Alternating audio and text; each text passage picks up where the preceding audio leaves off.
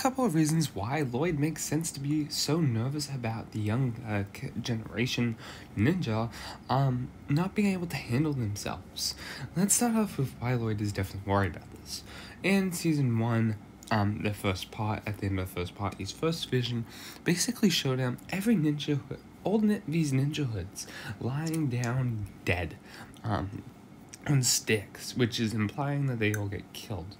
Um, this could be a dark mentality in his head. He knows the rest of the ninja. The kids, the other teenagers he grew up with, the elemental of fire, lightning, earth, ice, water. Everyone there can handle themselves. They've been through it all, and they've survived it. But Arin, Sora, Wyldfire are just brand new to this. They probably don't know what they're doing, and so, same with Ryu.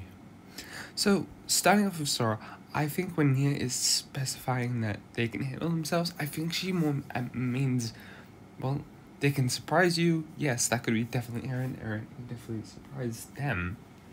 But, however, Sora and Wyldfire uh, have improved so much in from season one to now. Um, I have to admit, Sora, where she started off, she she's in a huge different place right now. She can use her elemental power on demand. Um, Wyldfire, on the other hand, is a lot more. I would say she's learning how to be a lot more calmer, and she's gonna get injured this season, so that does play a factor that will be on Lloyd's mind. But then again, it's just Wyldfire. Um, she's very hot headed, and she's gonna obviously want to run into battle.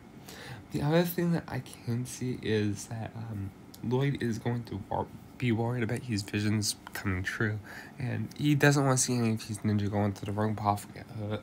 I think he's only looking out for Arin. Arin feels more like his um son than anything. It, like how Wu almost felt like a fa- another father figure for Lloyd. Um, I'm honestly like to see this um bond grow.